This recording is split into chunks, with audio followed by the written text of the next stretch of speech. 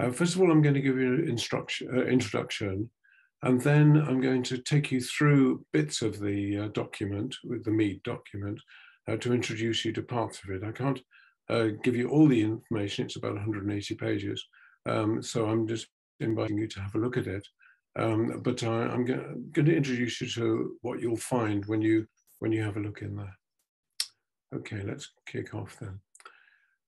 Okay, so this is the sort of uh, problem that we're um, trying to address. Um, this is um, a young woman, Averil Hart, um, who's been uh, very extensively documented, whose whose progress and sad death has uh, been very, very um, uh, comprehensively documented. And, and you can see the investigations that uh, were done in her case on the right, bottom right.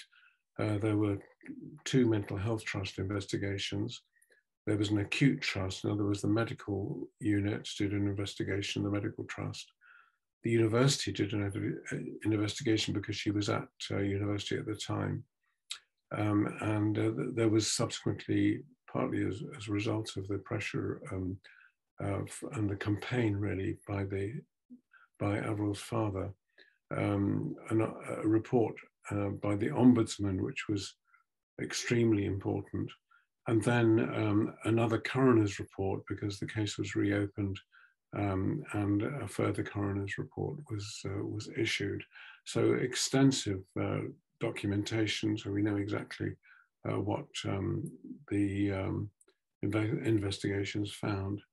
And I've just uh, picked out one aspect of it, which was the fact that um, she admitted to a medical ward with a very low BMI, 10.8, um, and uh, the glucose level was low. Um, she wasn't fed for four days while um, abnormal investigated.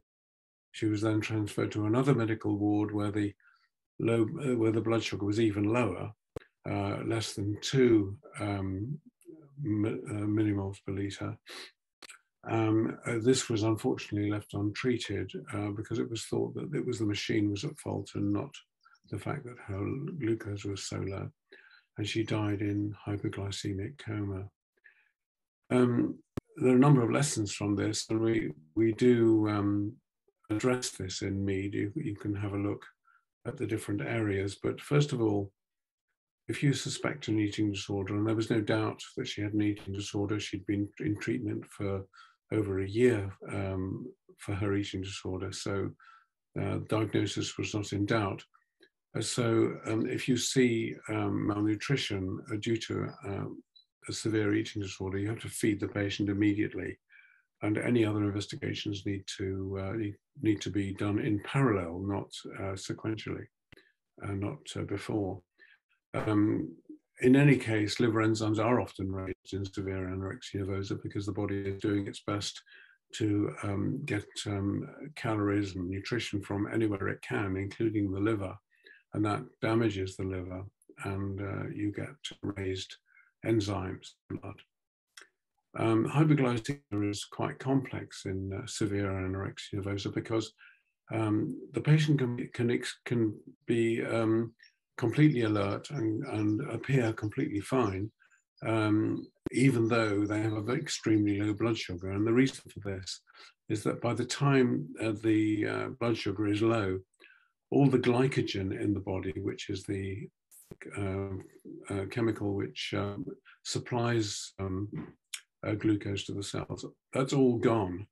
Um, uh, and um, what, the, what you are surviving on is um, metabolism of fat. Now, fat produces something called ketone bodies, and ketone bodies are able to be used by the heart and the brain.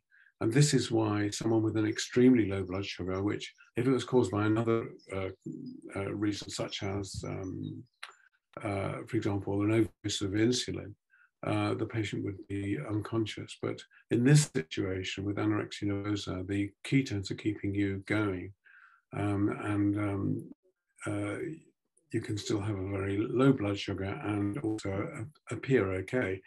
Um, however, there's a lot of that because uh, there's a limited amount of fat in the body, and when that gives out, that's when the patient uh, I think that's when the patient died. We don't know exactly. Anyway, uh, does need to be treated as an emergency. Uh, the best treatment in general is food. Um, although in this situation with severe hypoglycemia and uh, especially if it's symptomatic, if the patient is uh, drowsy or whatever, um, they probably need an injection of, um, of uh, glucose, of high, high potency glucose. So lots of lessons from that case. Um, this all started, uh, it's called MARSIPAN originally, which stands for Management of Really Sick Patients with Anorexia Nervosa. And um, I was asked to um, appear on stage at the BAPEN conference in 2008. BAPEN is the British Association for Parenteral and Enteral Nutrition. And um, a physician presented this uh, case, which was very similar to Averil, um, who was admitted um, after having been in um, an eating disorder service, and they were unable to treat her because she was so ill. And so she went into a, a gastro ward. Um, and they were unable to get on top of her eating disorder because she was sabotaging her um, treatment um, uh, because uh, she was terrified of weight gain. Uh, the family were in in uh, in disarray, um, arguing with each other, and um, all sorts of problems between the the family and the um, and the team. And unfortunately, the patient slipped through the net uh, that was allowed, um, and um, ended up dying um, on the on the medical ward uh, at the age of uh, I think 17. So I was, um, I, mean, I, did comment on it, um, I, but I was really uh, outraged by the fact that this could happen in, uh, in, in this day and age, in the 21st century. And so I got together with the physician who presented the case um, who was uh, very affected by it and upset by it. Um, and we got together a group of physicians and psychiatrists, and we also had dietitian and um, uh, carers um, involved in the original write-up. Um, and we wrote a, a document called MARSIPAN, which uh, wanted, which the, the aim of which was to give advice to people like uh, physicians and GPs and um, uh, people in um, what was then called A&E um, on how to deal with somebody with anorexia nervosa um, uh, who is extremely underweight and who can't be ad admitted to a psychiatric ward because they are too ill, uh, and so ends up in a medical ward where the staff don't know how to treat her or him for that matter. So that was the aim. Um, uh, a young person's version for under 18s is slightly different um, uh, priorities actually in the younger version came out in 2012 called Junior MARSIPAN. And we reviewed the, revised the uh, original MARSIPAN in 2014 and then um, some years later, I was asked to um, consider um, a further revision. And so um, we produced what ended up as MEED, Medical Emergencies in Eating Disorders. And this was launched on the 19th of May this year. And uh, that's going to form the bulk of this um, presentation. Okay, the current issues about MARSIPANs. Um, there's certainly um, more awareness of eating disorders among clinicians, especially psychiatrists and pediatricians. Um, there has also been more awareness in adult um, medical physicians, um, although uh, I would say that the result, the response there has been um, less than in the other groups and uh, sometimes been quite disappointing. But nevertheless, there has been activity. And um, uh, when we were producing MEED, um, we had tremendous support from the emergency medicine and the gastroenterology, especially nutrition group. Um, so um, this is um, been uh, a real change and uh, has been very robust. And um, for that reason, we're hoping for a change in in uptake and uh, and that there'll be fewer cases because there still are cases, unfortunately, like this. so as I said, uh, fatal cases continue to be reported from medical units well after publication of MARSIPAN.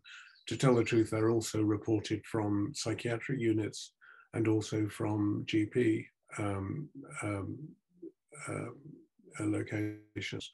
Um, so the problem is everywhere. The, the fact that anorexia, anorexia nervosa and other eating disorders, they're relatively um, uncommon. Um, the severe cases, let's say, um, and so people don't have much experience of dealing with them. Um, and so uh, also they're, they're really not taught well in medical schools up to this point. Um, and so um, that's where the, uh, the problem uh, really begins. And um, just in the last year, there's been concern from a coroner about uh, eating disorder deaths.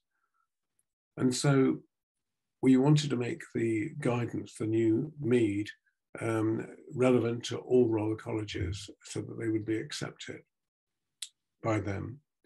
And uh, there was a call for an all age document, and this is basically what we did.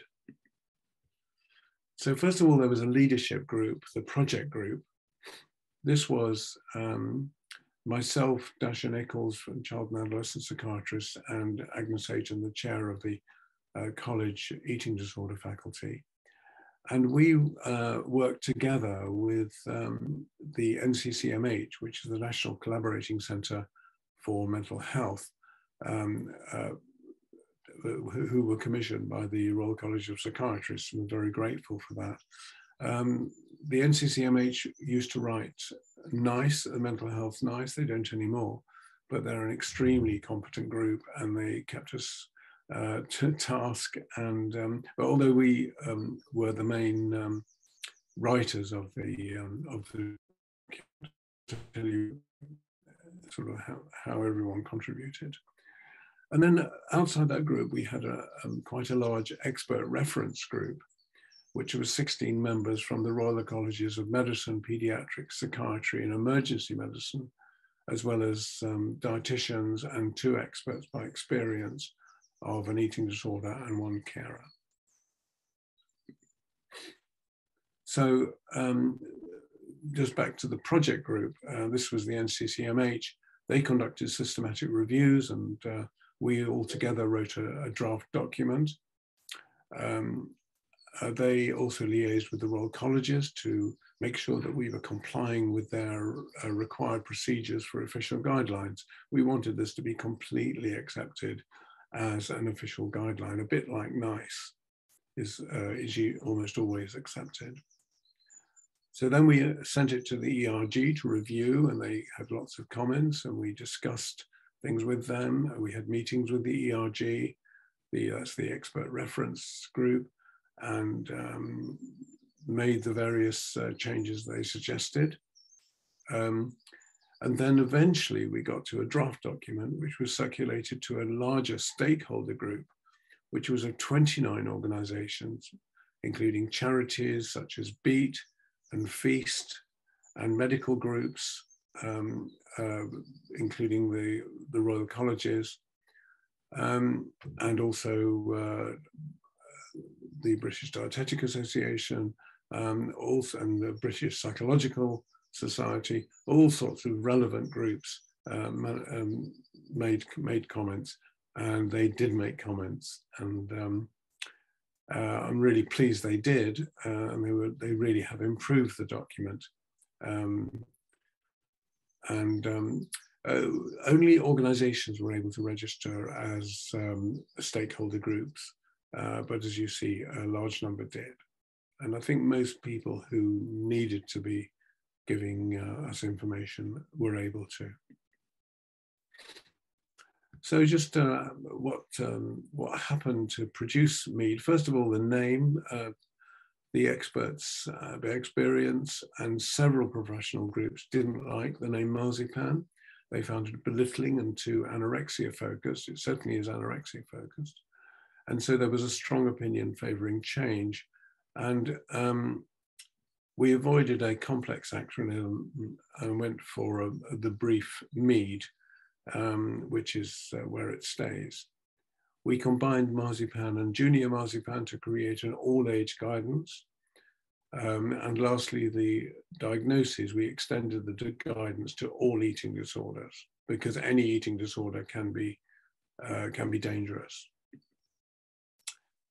Much of the content um, um, is similar to MARSIPAN, which uh, if you've read that, you'll, you'll notice uh, similarities. But there are important differences. Uh, there's an all, it's an all age document now. It has a new traffic light RAF, which is risk assessment framework. It's with three traffic lights, uh, as opposed to four in the junior MARSIPAN. We reduced the number to the usual number of three traffic lights. Um, there are literature reviews and guideline comparisons within there. Um, and there are summary sheets, one for each constituency, including one for each uh, emergency department staff and also for um, uh, patients and or rather experts by experience or sufferers and also their supporters or, or their families. And there's a brand new section on type 1 diabetes and eating disorders, now known as TIDE, um, rather than uh, bulimia, sorry, um, um, diabulimia, which um, has now, now mo mostly been dropped in favor of TIDE, which I think is a, a great move. So first of all, the um, uh, um, I'm, I'm, going to end this bit of the talk, uh, but with some summary and conclusions. So treatment of eating disorders in non-specialist settings can be very challenging and collaboration between psychiatric, which is either eating disorder or liaison, but occasionally community psychiatric, uh, general psychiatric services and medical services is essential to avoid more deaths. So working together is the uh, probably the key thing that we we want to promote. This new guidance offered, offers advice for clinicians with younger and older patients and it has a traffic light system that you, sh you should be used as part of a competent clinical evaluation. It's not a tick box exercise purely. And we hope that the Royal Colleges will accept our work as official guidelines. I mean, that hasn't happened ind individually with each of the Royal Colleges, although the Royal College of, uh, importantly, um, child uh, uh, pediatrics and um, uh, child um, health have um, accepted the, the, guidelines and also have the um, Academy of Royal Colleges, which is an overall body covering all Royal Colleges. So we're doing well from that point of view. And we hope that our new guideline will be used to avoid the unacceptable deaths that continue to occur amongst our patients. So you can join the discussion. There's um, MARSIPAN. Send an email to MARSIPAN and MEED request at jiscmail.com or just write to me at UCL. So part two of this talk um, is um, more detailed. And um, here we go um, into assessment and treatment of adults with eating disorders in the, in the emergency department um, uh, but it, it, applies to uh, medical wards and also to primary care. this is, I'm talking primarily about adults because that's my main area of clinical expertise. Um, and um, uh, there will be other um, talks uh, given about um, management of children, although I might have a few comments to make about that. As I said, MEED is endorsed by the Academy of Medical Royal Colleges, and there's their logo. So the first question one needs to ask oneself is faced with an eating disorder patient, say in the emergency department or in primary care, is how ill is the patient? First of all, bear in mind that eating disorders have the highest standardized mortality of any mental illness and that includes schizophrenia and uh, depression, both of which have high rates of, um, of mortality. Uh, the reason that eating disorders have the highest standardized mortality is that patients with eating disorders who die tend to be young. And so when you standardize for age, uh, that increases above the other uh, disorders. So have a look at the risk assessment framework, which is table one in MEED. Have a look at the MEED checklist, um, which is in the appendices in, in MEED. Um, and that uh, gives you an idea of um, what questions to ask yourself when you when you're faced with someone with an eating disorder. And um, we're developing an app for MEED. You'll be pleased to know. Uh, it's not out yet, but uh, we're commissioning it. Uh, we've got funding for it, and um, we hope by let's say um, middle of uh, 2023 uh, the app should be um, designed and created and avail available. This is the checklist, uh, which you'll find on the website of the Royal College for Psychiatrists, but also um, as part of the MEED document. It has three bits, assessment, refeeding, and management. And uh, for example, does the patient have an eating disorder? Yes or no? If not, if you're not sure, what to do, request a psychiatric review. So it's got um, uh, uh, questions to ask yourself in all areas that we think are relevant. So um, uh, use this if you're someone who's on the front line, um, or indeed if you're, say, a therapist who's um, faced with someone with, an, with a, severe eating disorder. Um, you might want to use this to think um, about um, whether this person um, should um, be uh, medically reviewed or even admitted to hospital, all those, all those things. So don't say you can't, because you're not medical, you can't separate yourself from this because you will be um, um, held responsible if someone comes to your, comes to a therapy session and then leaves and then comes to grief afterwards, partly so first of all, the traffic light framework. Um, uh, it's the risk assessment framework, the RAF. Um, it's all age, so traffic light, red, amber, and green. Um, and these are the areas to assess weight, BMI, and rate of change of BMI, cardiovascular, including pulse, BP, and electrocardiogram, uh, temperature and hydration, biochemistry and hematology, muscle strength, eating disorder behavior symptoms, such as engagement with the treatment, um, exercise and purging, self-harm and suicide. So any, any red risk on the RAF um, needs overall clinical evaluation. So if someone has a red risk anywhere, they have a low BMI, um, they have, um, they're losing weight quickly, they have a low temperature, any of these things, make sure that there's a full medical um, evaluation to make sure so that um, the patient is uh, properly uh, assessed for their, their risk. And as I said, we are commissioning an app and we have got funding and uh, it'll be in due course. I know not early enough for everybody. So just uh, talking about weight and BMI, um, you'll know that the WHO normal, WHO normal range for BMI is 18.5 to 25. So look at the absolute level. If it's less than 13, that's a red risk. If it's 13 to 15, that's a amber risk. And if it's more than 15, that's a green risk. You'll notice that it's not normal, the over 15, it's still underweight, and you can still have severe anorexia nervosa uh, at 15 but um, you're not um, uh, at high risk of collapsing and needing needing admission to hospital. That's what it means. Doesn't mean there's no no risk. There's lots of risk. So look at the rate of change as well. Um, is it more than one kilogram a week? Is it 0.5 to one kilogram a week, or is it less than 0.5 kilogram a week? Which gives you the different risk ratings. You'll notice that um, uh, the risks are not absolute. It's not really like a traffic light in that you really can't not stop at a traffic light when you're driving. Whereas if someone has a BMI over, uh, under 13, say someone has a BMI of 12.5, on this rating they'd have a, a high, a red medical risk, uh, um, MEAD risk.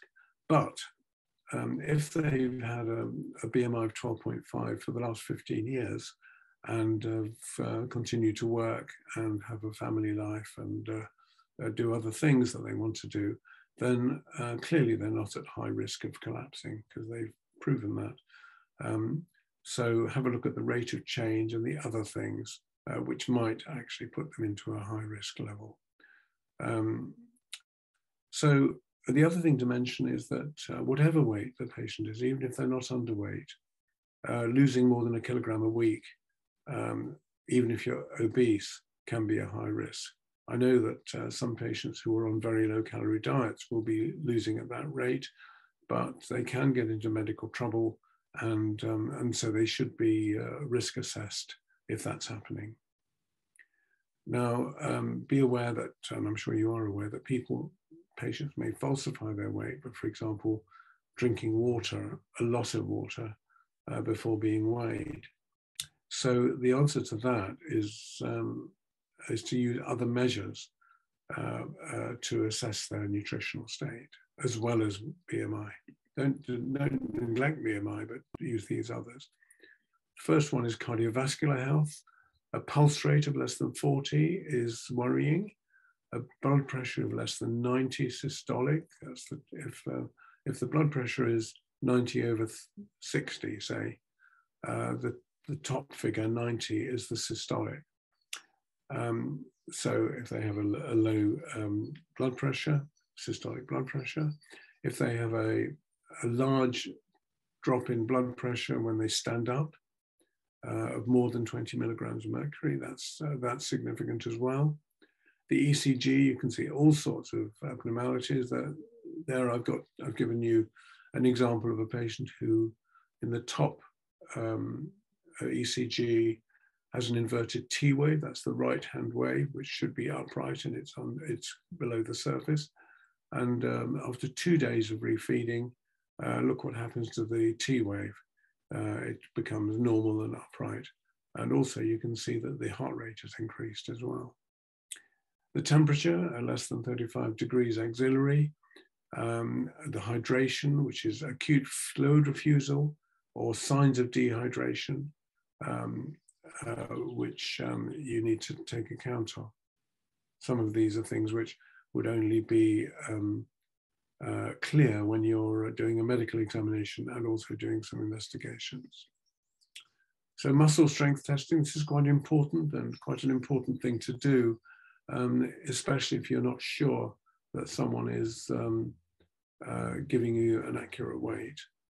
So there's the SUSS test, which is, um, I don't know if I'm stuck in, in, the way in your view. There get me out of the way.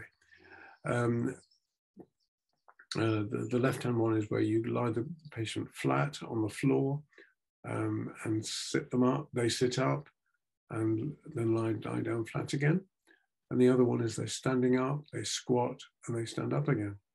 Um, there's a, um, a scale um, which you can find in um, in MEED, and also a YouTube um, uh, demonstration of how to do this test, um, which you'll find on that, that uh, YouTube address. it happens to be my daughter who is, doesn't have an eating disorder. I'm very pleased to say, uh, but um, has uh, demonstrated this test very expertly. The second one we use is the hand grip strength. Uh, you have to buy something for this. Um, and I must say that one there, which is the one I got, I got from Amazon. It wasn't that expensive. Um, and um, it's, a, it's a good measure, uh, for, but partly because patients quite like doing it. They don't mind doing it, um, whereas they're not that keen on the squat SUSS test. Um, and um, if you're doing it every day and it's going down, uh, whereas the weight is staying the same or increasing, then that's um, evidence that um, the weight might be falsified. The third one you can do, you can choose which one you want to do, um, is the mid upper arm circumference, so widely used in dietetics. Um, and uh, you find the uh, point of the shoulder and the point of the elbow, measure between and take the, the halfway point and take the circumference of the muscle, the biceps muscle at that point. And less than 18 is thought to be um, a, um, a highly significant level. Then there are psychological and behavioral aspects. Um, engagement, for example, a patient who's resistant to any treatment which involves weight gain is at high risk and they might be struggling with parents or with staff, physically struggling. Um, eating behavior, acute food, food refusal, for example, less than 500 calories a day for two or more days, that increases the risk. Frequent and extreme exercise, frequent and vomiting, frequent laxative abuse, they all increase the uh, risk. And then there are um, the, the, predictors of suicide, such as suicidal thoughts, suicidal plans, and self harming behavior, all um, have an increased risk of uh, completed suicide. And remember that um, in patients with anorexia nervosa who die, one in five die from suicide. Now, here's for uh, people who are interested in biochemistry and hematology. Uh, the hypokalemia, which is low potassium level, is probably the most dangerous change. Um, uh, less than 3.5 is abnormal, and so you should make sure you repeat that. And less than three, you should consider admission. Um, if you uh, treat them in the emergency department, make sure the patient is reviewed and blood taken within two to four days um, if you um, see them in A&E and treat them with uh, intravenous um, potassium and discharge them because the potassium is normal, make sure they're reviewed and uh, the blood taken, uh, the blood is reviewed in within two to four days. And make sure there's follow up by an eating disorders clinician. Hypoglycemia, which I, I, mentioned before, the patient may be conscious because of ketones, as I said. Um, abnormal liver function, which is normal in starvation and just needs to be monitored, only if it uh, goes out of control and uh, suggests the possibility of liver failure, which can happen, but it's very rare. Um, should you um, do any more investigations?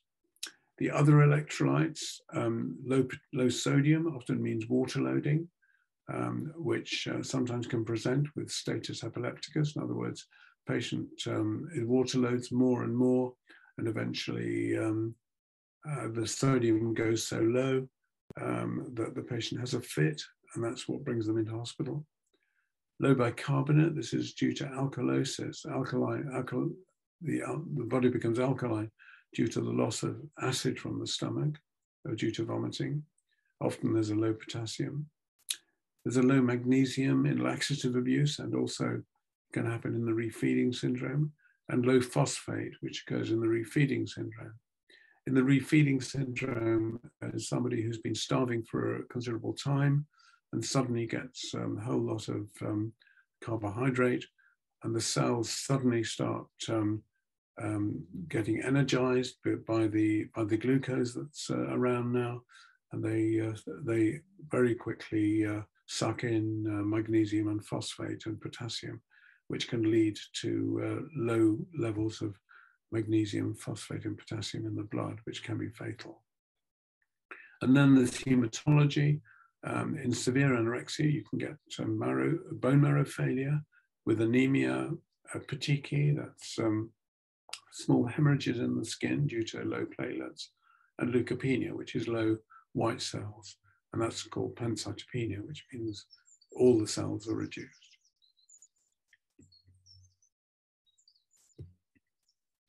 Okay, um, I'm going to show you in MEED some of the ways that uh, the information is presented, and these are snippets only, just a taste.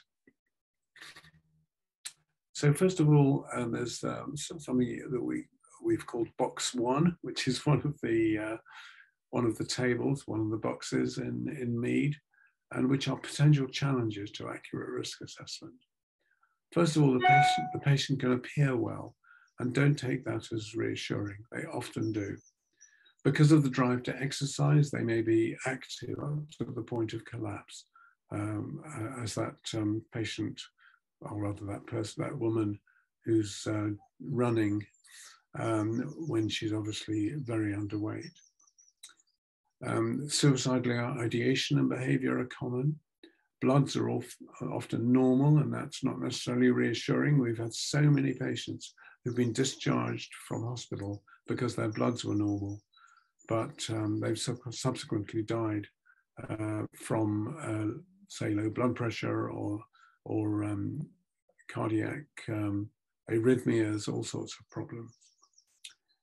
And also, just to say, don't reassure the patient that their risk is low because you can provoke um, increased restriction and vomiting and exercise in someone who is uh, desperate uh, to be um, thinner and thinner. And they know that, um, uh, that a low risk means that they're, uh, in their mind, they feel too fat. So the, the other thing is that uh, fear of weight restoration can reduce the patient's ability to give an accurate account of their history. In other words, they might underplay certain aspects uh, because they're worried about being admitted to hospital and uh, possibly made to gain weight. So this is the risk assessment framework. Uh, you can see the red, amber and green. And just as an example, is weight loss, recent loss of weight of more than one kilogram a week for two consecutive weeks, recent loss of weight of 0.5 to one kilogram a week for two consecutive weeks, recent weight loss of more than, sorry, less than half a kilogram a week. So there we are. Uh, I won't go through everything that I'm presenting, uh, showing you here. This is um, table two, which is um, how to manage the um, abnormal findings. So for example, if you find a low heart rate, um, you, or you measure the heart rate, look for a low heart rate, look for um, um, increase in heart rate when the patient stands up, um, uh, and uh, it tells you when to be concerned, and it tells you how to manage that situation. So we hope that will be helpful. And light bulb signs we've given. Um, here's the checklist of light bulb signs. I mean, this is only one of them. Uh, so rapid weight loss, more than one kilogram a week for two consecutive weeks. That's an absolute um, a light bulb sign, which uh, you've got to, you should be taking um, notice of. So psychological symptoms, body image disturbance, anxiety and depression. Um, so especially um, self-harm and um, suicidal ideas. So we've got a, a table which uh, gives you an idea of which sort of um, unit you should be referring the patient to. Say you're in A&E or you're in um, primary care. Um, should you refer to a, a, specialist eating disorders unit, assuming you can find one, find a bed in one, which these days is very difficult, um, or should you be referring to a medical unit? Um, and um, there are certain things that um, uh, we distinguish between specialist eating disorder units, where the whole unit is an eating disorder, and specially specialist eating disorder beds, where one bed in a unit, which might have other patients with different problems. And that could be a general psychiatric unit with one or two eating disorder beds. They can normally offer nasogastric feeding, um, daily, daily test, uh, blood testing, daily ECGs, and frequent nursing observations. Whereas they don't usually offer intravenous infusion, artificial ventilation, or cardiac monitoring. So that will give you an idea of what sort of unit you should be looking for, what sort of bed you should be looking for. Um, so this is about, this is table six, which is management of refeeding. Um, so um, this is a, um, um, a way to uh, approach refeeding and here's two examples of what's, uh, what's in that. So you first do a risk assessment, um, look at, uh, see whether there are any red ratings and consider the management of each risk factor. You might have to consider employing a one-to-one -one specialist nurse, but do make sure they know about eating disorders. Um, other area of concern might be you're not sure of the diagnosis and there may be non-eating disorder possibilities, um, such as Crohn's disease or um, diabetes. So you do investigations rapidly to rule out the alternatives, but don't delay nutrition. And the alternative diagnosis, such as the diabetes, may be in addition to the eating disorder. So here's the uh, some ideas about the bi biochemical results. Um, so um, this is what um, happens in refeeding syndrome. You get low potassium, low phosphate, low magnesium, and there are other features which are in this table. So this gives you an idea of the um, of the features of refeeding syndrome. And uh, some factors associated with the risk of refeeding syndrome, extremely low weight, prolonged low intake, deranged baseline electrolytes, low white cell count. And I would add there, um, I mean, this is only part of a table, but I would, I would add there sepsis, such as um, pneumonia or any other form of uh, sepsis. It gives you a higher risk of refeeding syndrome. And this we've given, I won't give in detail, but uh, we've given a refeeding protocol where um, we um, divide people into low or medium refeeding syndrome risk and high refeeding syndrome risk. And the high refeeding syndrome risk has a more conservative um, approach to refeeding. But um, we do um, emphasize that even though you may start with low calories, you should increase the calories um, rapidly um, uh, while, while you're testing for refeeding syndrome. And if it happens, then you may have to increase, decrease a little bit. Um, but don't leave somebody without any nutrition for days and days because you're worried about them getting refeeding syndrome. It's a, that's a potentially fatal uh, um, way to treat somebody. And vitamins is another another area which are tricky. Um, we tend, to give them rather than not give them because people with eating disorders, um, such as anorexia nervosa, but also um, uh, ARFID, avoidant restrictive food intake disorder, um, and also bulimia nervosa, tend to be um, uh, deficient in, in various um, uh, vitamins. So we tend to give um, uh, a multivitamin tablet, um, but particularly um, interested in uh, replacing thiamine, because if you don't replace thiamine and then you start refeeding, you can trigger what's called um, Wernicke's encephalopathy, which is a potentially fatal condition due to uh, thiamine deficiency, and it's something you really want to avoid. Okay, what about the families? We've got a table giving some do's and don'ts for families and carers. For example, do get your own support, do ask to be involved in treatment, but don't talk about diet, weight, and shape with the person with the eating disorder. There, there's some examples there. There's, there's quite a few. Have a look at this table, table 10. And then how to help, um, written for carers, but also relevant to staff.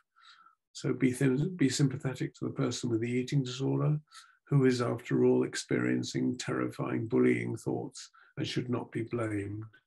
This is really important because often we find our patients are um, stigmatized by staff um, who uh, admit them um, to uh, general, but also actually to psychiatric units. It, it's pervasive.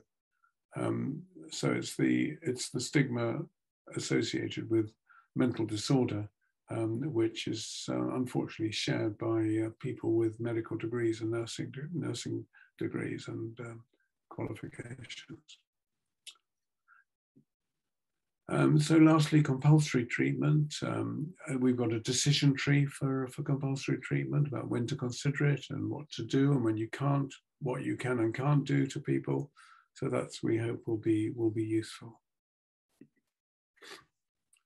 So in, la lastly, this project has been running since 2010, it's now 14 years, and tragically patients are still dying needlessly, although, as was pointed out to me recently, almost certainly um, a large number of patients have been have not died and, and have done well uh, because um, many people have um, taken note of the guidelines.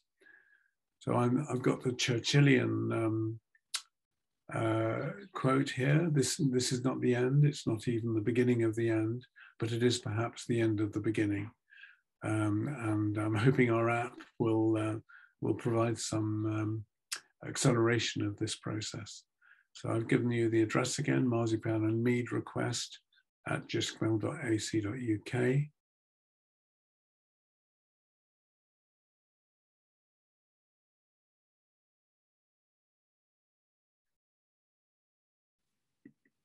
And that's it. Thank you very much for listening.